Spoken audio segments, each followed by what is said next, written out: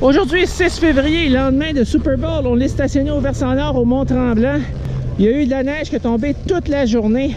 Ça fait que aujourd'hui, regardez-moi ça, l'expo, un super damé. J'ai l'impression que ça va être des conditions comme ça à peu près dans toutes les pistes.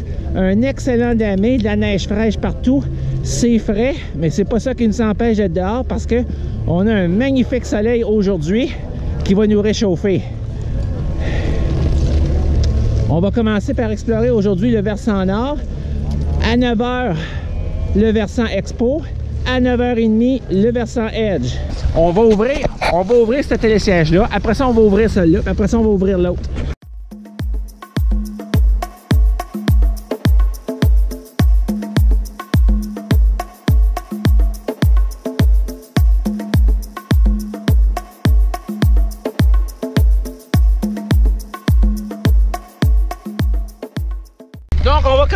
Aujourd'hui avec des premières traces du côté du, euh, du télésiège Duncan Express. On va avoir le temps de faire à peu près deux descentes. Après ça, on va tout de suite se diriger vers le télésiège Expo à 9 h. On va pouvoir aussi à peu près faire deux descentes de première trace. Après ça, il va être rendu 9h30. C'est le temps de s'en aller au versant Edge pour aller aussi faire des premières traces. Puis une fois qu'on aura tout fait ça, là, on va commencer à explorer les autres versants de la montagne. Mais l'idée, c'est de toujours être en avance sur le reste de la foule qui va suivre après.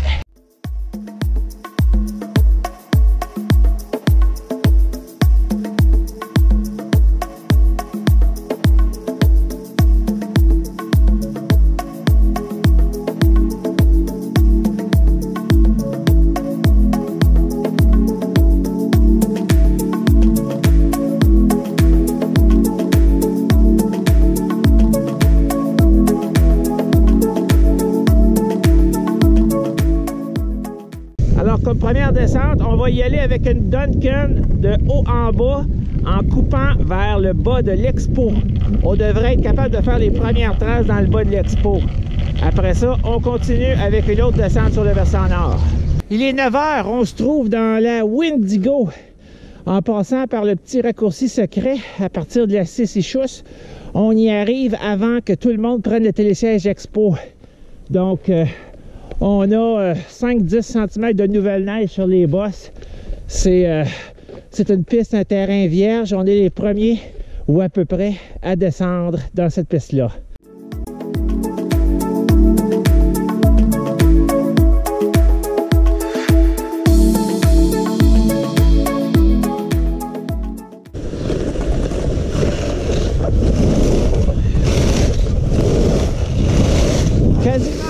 Premières traces dans l'action.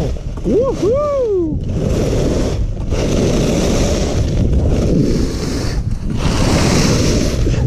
Superbe! Oh, que glace!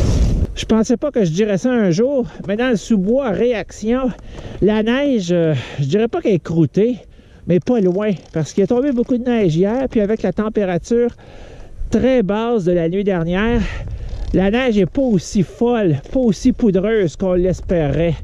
Donc, euh, je sors du sous-bois, puis je vais être obligé de terminer ça dans l'action en un slalom euh, normal.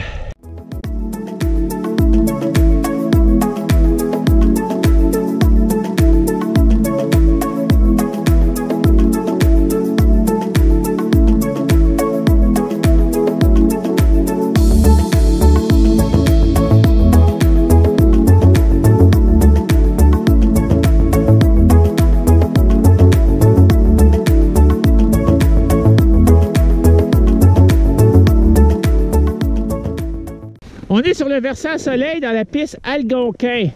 C'est une piste verte, mais quelle piste verte! Une magnifique piste verte. Les conditions de neige sont sublimes, je vous le dis. C'est une neige nouvelle.